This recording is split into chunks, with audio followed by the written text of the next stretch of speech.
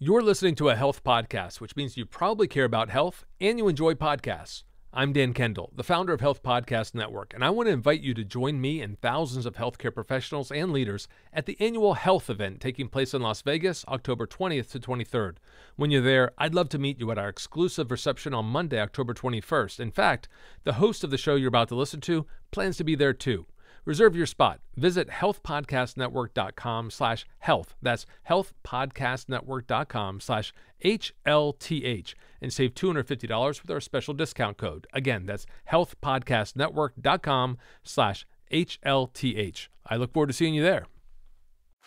I'm Dr. Raj Sundar, and this is Healthcare for Humans, the show dedicated to educating you on how to care for culturally diverse communities so you can be a better healer and achieve better patient outcomes. This is about everything that you wish you knew to really care for the person in front of you. Let's learn together. Welcome back to our four part series on caring for Ukrainians. This is part two, where we're diving deep into the Ukrainian community's health beliefs, challenges, and experiences, specifically in the American healthcare system. If you haven't listened to part one yet, I highly recommend you go back and check it out when you get a chance. It provides crucial historical context that will give you some background to help understand today's discussion. The question that maybe this episode focuses on is Have you ever wondered how a community's history shapes its approach to healthcare, or how language and cultural nuances can impact medical decisions? It's a question that we explore in almost every episode, but this one is going to build on last episode where we focus specifically on history. And it's going to translate to what it means for Ukrainians' approach to healthcare. I'm joined once again by Tamara. As we talked about before, she's a passionate advocate for Ukrainian health. We'll explore topics ranging from the community's self reliant mindset to the complexities of building trust in an all new healthcare system. In this episode, you'll hear about how the historical context we discussed in part one influences Ukrainian health beliefs today, the challenges of preventive care, including vaccination hesitancy, and a first hand account of a culturally insensitive medical encounter and what we can learn from it. Let's dive into part two of our four part series on the Ukrainian community. Here's Tamara again. I did have one more data point that might be interesting. With some of the other partners we meet with in our Ukrainian and Russian work group with the Department of Health, we talk about the demographics of Ukrainians during a survey collection. If you are Ukrainian, you will check off white as your status in the racial profiles that are built into our demographics. Yeah. When you separate groups in this demographic, Ukrainians who may have a different socioeconomic status as other white people in the region are clustered there. A lot of times, in terms of programming and data collection and the impact of how many Ukrainians are here and what their needs, they can often be uh, lost in this big data set. And that's what some people have been trying to figure out. How can they be um, categorized so that we can figure out more data um, to help us create uh, culturally specific and culturally appropriate programming. Very interesting. And another way, our socially created idea of race lets us down and erases people, including Ukrainians, because the idea of just white people is confusing for people checking boxes and you're from Ukraine and you're like, I guess I am. it's not doing justice to the actual population needs. When you think of the Ukrainian community, one part of the history is the transition to becoming refugees because they were forcibly displaced at certain points in history.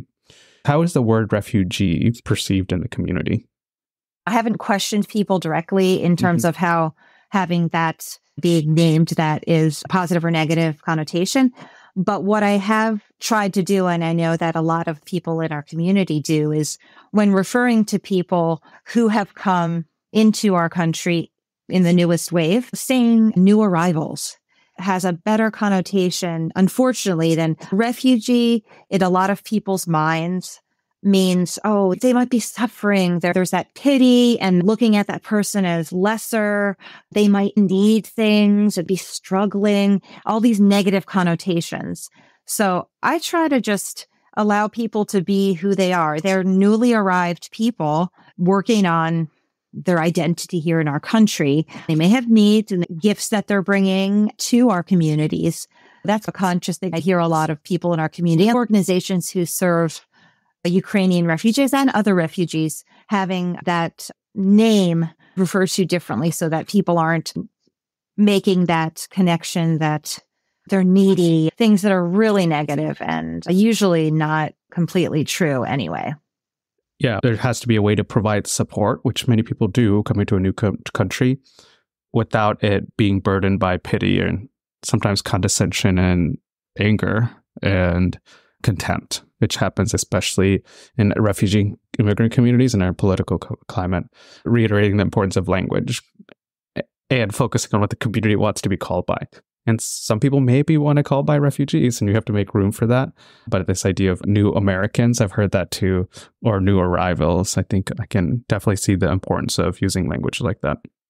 Yeah, I think of my parents and all the things they had to go through from being displaced and coming to the country and having that refugee label that doesn't help to empower you when you're trying to work on creating your new life. Yeah, exactly.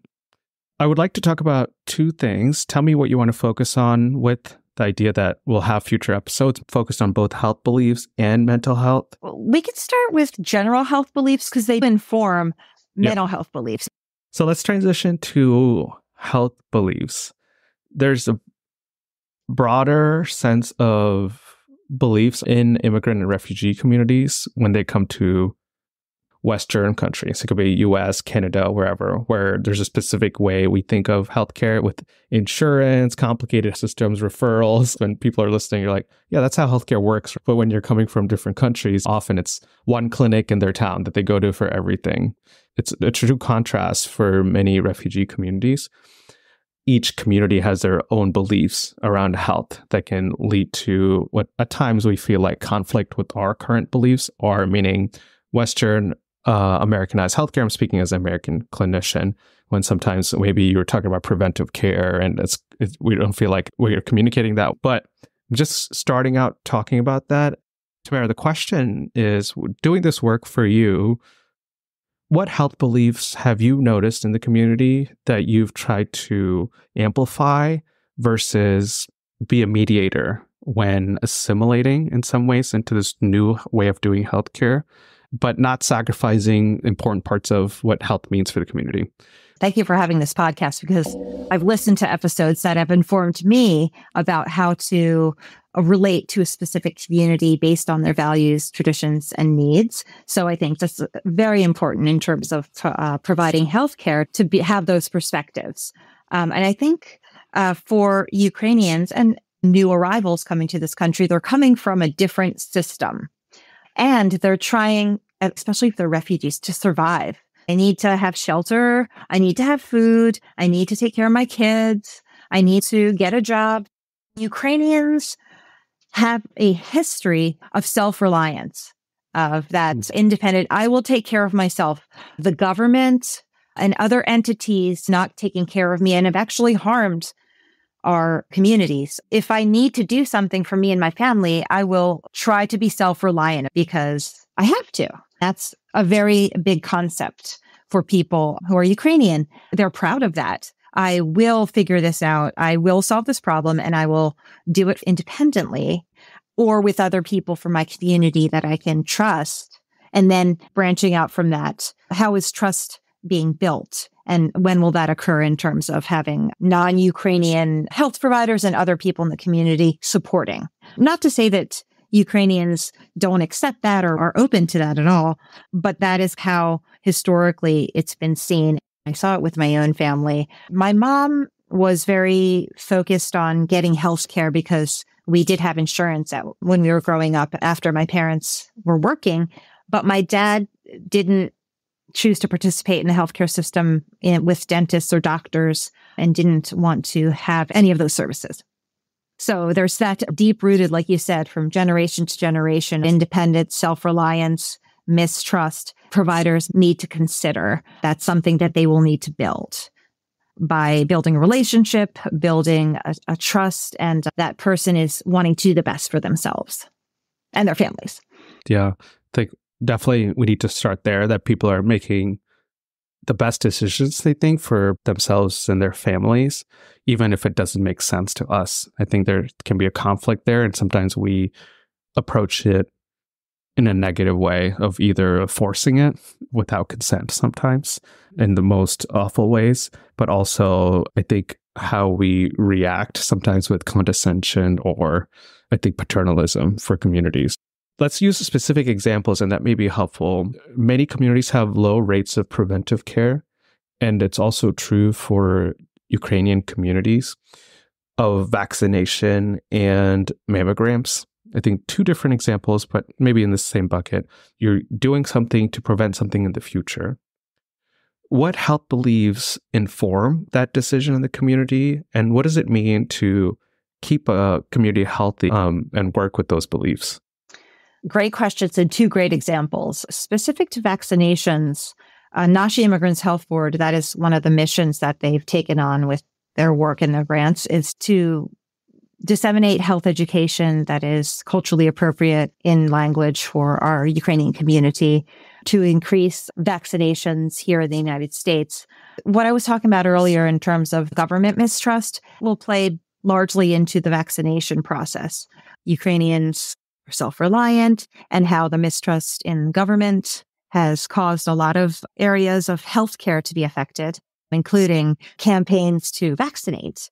So that's been an issue for our community. What we're seeing with the work we're doing with Nashi Immigrants Health Board is that there are certain vaccines that are more troublesome to the Ukrainian community. They are worried about side effects and harm being done to them or their families by being vaccinated. They often think that outweighs the risks of attaining the disease. This may also have to do with if within your history you've been able to not be ill from a specific disease that is often in your community, then you feel like I don't get that disease or I don't have to worry about that. And that may be also people's thoughts that let's wait until something happens before we intervene.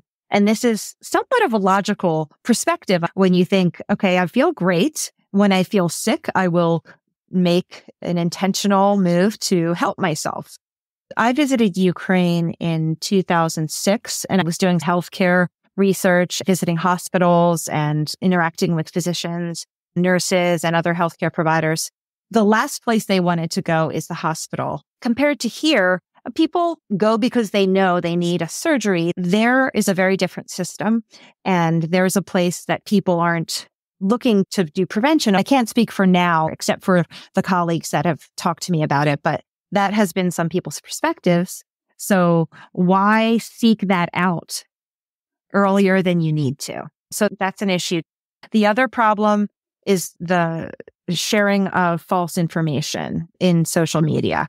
That's become a huge problem, unfortunately. We are experiencing this, but in Ukraine and among Ukrainians, uh, there are areas of social media that can inflate things or share false information that healthcare agencies have to dismantle have that process of of having people accept those healthcare practices. Um, but a thing that could be recommended is when I do patient care is asking people what they think about a specific intervention. What are your thoughts about vaccinations? Body language speaks loudly. People don't want to really engage uh, just to get an idea of where they are, what their baseline is, and that you can form a relationship around that versus just giving information and saying these are the requirements, which may decrease trust. So always forming that relationship, asking questions, Ukrainians are really proud of their knowledge base. There's a lot of Ukrainians who've had the opportunity to undergo a higher education and they want to be uh, knowledgeable about something, not talking as uh, uh, an authority and healthcare provider thinking, oh, my patient isn't going to know what I'm talking about because I'm the provider and I have privilege and I've learned all this. Chances are, if that encounter happens, the person's going to be like, I know about this too, and I have a few different thoughts about it, but I'm not going to share them because this person's just telling me what they know and they're not listening to maybe what I might think about this. That's human too. What have you found that's helpful for anchoring on what's true. I think sometimes it's like I'm competing against a social media clip or a family member who experienced a real side effect. I'm talking about theoretical percentages and risk benefit calculation. But what's real is, hey, I saw them have a side effect from this vaccine. They were in pain for two days. Their arm looked a little red, and they said, I wouldn't do it again. And that was a real experience, and that's a risk of a vaccine, very small, but we think the benefits are greater. This relates to what informed decision making really is and what healthcare sometimes doesn't do justice in communities, like people who are educated and want to make informed decisions for themselves. What have you found that has been helpful? Some of the things that I would list as the top facilitators would be to provide eh, in language consultations. I know this is difficult in our country. There's multiple languages people speak, but if someone comes to you in your own language, the trust goes up so much higher. I think it's because the comfort is there. I don't have to think about the words I'm going to use because it's my native language. Um, having that availability increases the trust and may increase the effectiveness of the message. That's pretty huge. The other thing that I've seen um, that has been really helpful is the community health worker, the medical assistant who is from that culture and that community making a huge impact on the community's decision making. I have three people in my mind right now who collaborate with Nashi who are those people. And I can't say enough about how they get people call them privately. People ask them questions before going to the doctor because they trust them from having that relationship, that language, and that support. So that's another way I think communities can bridge relationships with providers to make them stronger. I've heard this in different presentations with vaccination specifically, but repeating the message, if you want to build trust and the first encounter you have, you don't get the results you need as a provider. They didn't want to get this vaccination today. That doesn't mean they won't. Um, mm-hmm. Maybe they just met you. Maybe the trust isn't there yet. Building the relationship has been shown to provide for people to comply with health information and health advice based on trust. Keep trying to forge the relationship. Ukrainians traditionally have a family doctor they trust that has this decision making with them that are able to influence some of the health decisions that they have. So they have that model is familiar. So that may be a place where you can build that over time. Yeah, I think that's really important to call out. It takes time to build trust to talk about vaccines and even preventive health like mammogram. Now, taking the other side of this question, what are the main health challenges and concerns within the community? Because we're saying vaccines and mammogram are important and then saying prioritize these, prioritize this. But I think it's important to also think about what does the community feel like is important for them? And maybe part of this work is addressing that first before even talking about the preventive care that we feel is important.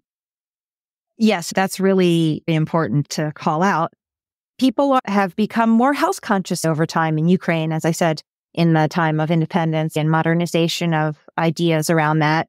But if you talk about older generations, their perspective is, and this is from my own thesis I conducted with older adults, to them, taking care of all their health needs isn't such a priority because they're closer to the end of their lives and they're not afraid of that process. A lot of people have a really strong faith and they also want the younger generations to be able to thrive and have that opportunity to be healthy. So that's a perspective they often take in terms of demographics and disease processes. Hypertension and heart disease are large factors of chronic disease for those older adults in communities. And cancer uh, is increasing as well in terms of the awareness and the, the fact that if you live longer, there may be more probability that um, you will um, get a cancer diagnosis.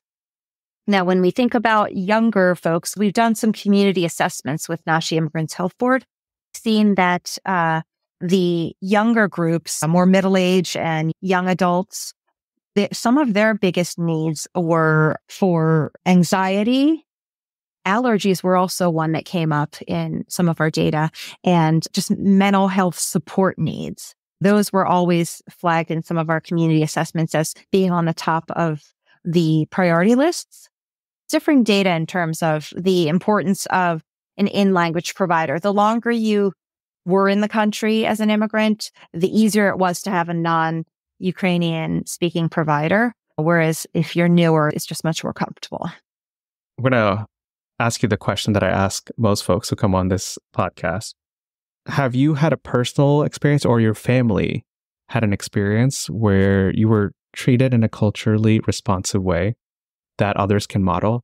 Or the other question, uh, which sometimes people choose to answer, is when it all went wrong and you said, don't do this, and that's your advice for folks. Is there anything like that you feel comfortable sharing?